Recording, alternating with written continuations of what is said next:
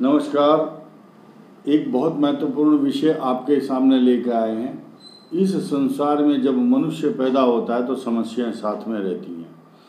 और समस्या साथ में है तो सभी शास्त्र ये हमारे डायरेक्टर हैं, निर्देशक हैं शास्त्र।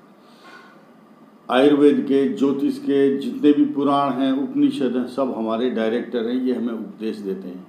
और रामचरित मानस में लिखा है, सकल पदार्थ है जग माही, कर्महीन नर पावत नाही। समस्या का समाधान आपके ही पास है, लेकिन आपको मालूम नहीं है कि मुझे करना क्या है। तो ठीक इसी प्रकार मनुष्य नव ग्रहों के द्वारा संचालित है।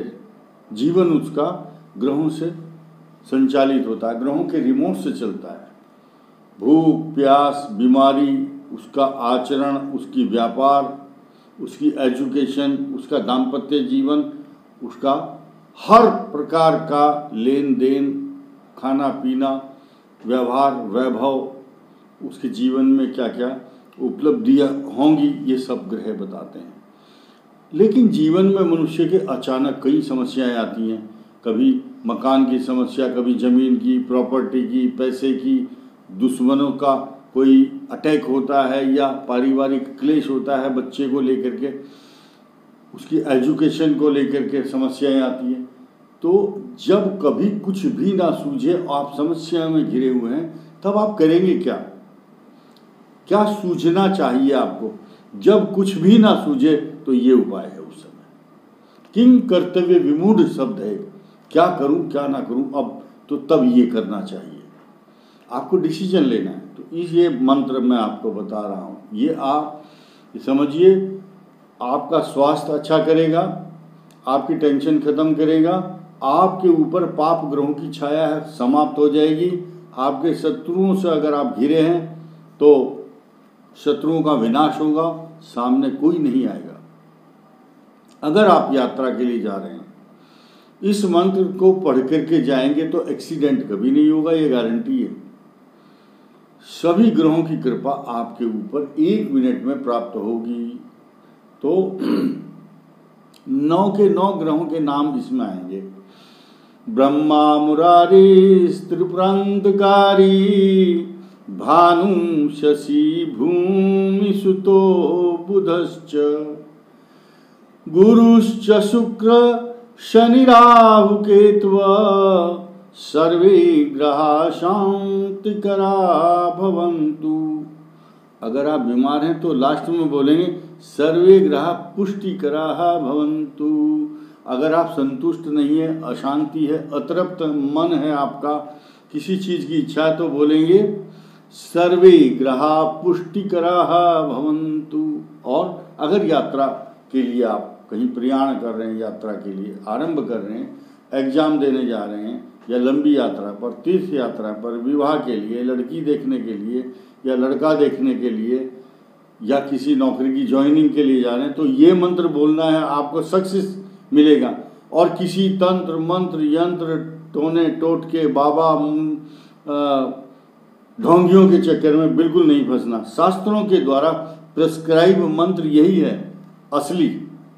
बाकी डुप्लीकेट के में चक्कर में नहीं फंसना। हमारा जो मंत्र है, वो ब्रांडेड मंत्र है, शास्त्रों के हिसाब से। यात्रा में चलते समय ये बोलना है, इस मोबाइल में अपने सेव करके रखिए इस मंत्र को हर समय। तो दोबारा बोलता हूँ। मंत्र वही है, लेकिन लास्ट की लाइन बदली हुई है।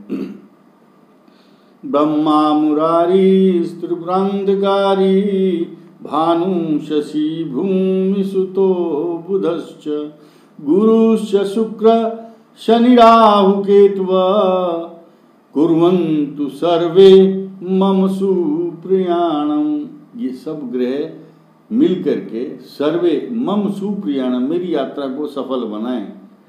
तो जब आप निवेदन कर रहे हैं नौ के नौ ग्रहों के से तो उनके मोबाइल में जो सूर्य, चंद्र, मंगल, राहु शनि, बृहस्पति, जो भी, जितने भी ग्रह हैं, सबको एक नोटिफिकेशन मिलेगा, कोई भक्त आपको पुकार रहा है और वो कृपा का, हर आदमी की एक राशि है, हर आदमी का एक लग्न है, उसका एक स्वामी है तो उसके स्वामी के पास, आपकी राशि का स्वामी सूर्य है, मंगल है, राहु है, शनि है, बृहस्पति है, वो आपके ऊपर कृपा करेंगे।